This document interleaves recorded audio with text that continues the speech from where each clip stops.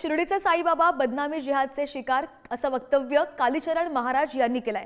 साईबाबांना मुस्लिम घोषित करण्याचं मोठं षडयंत्र रचण्यात आलं असंही कालीचरण महाराज यांनी म्हटलं.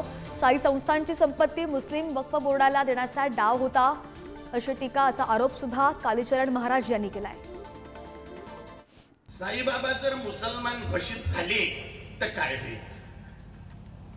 साईबाबा मंदिराची सगळीच्या सगळी करोडो अरब रुपयाची प्रॉपर्टी मुस्लिम वक्फ बोर्डच्या ताब्यात जाते.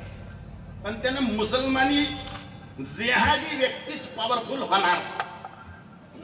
भारतात इस्लामिक राष्ट्र बनवण्यासाठीच ते प्रॉपर्टी वापरण्यात येणार.